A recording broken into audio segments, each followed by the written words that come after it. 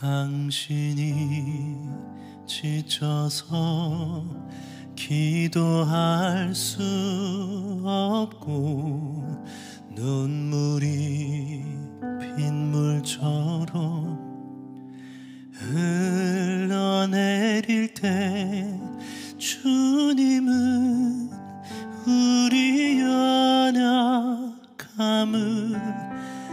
하시고 사랑으로 인도하시네.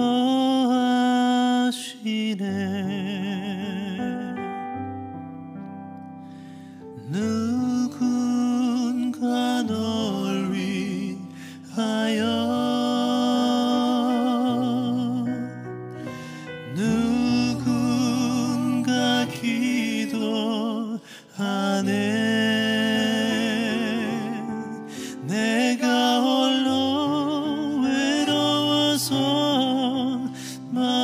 me.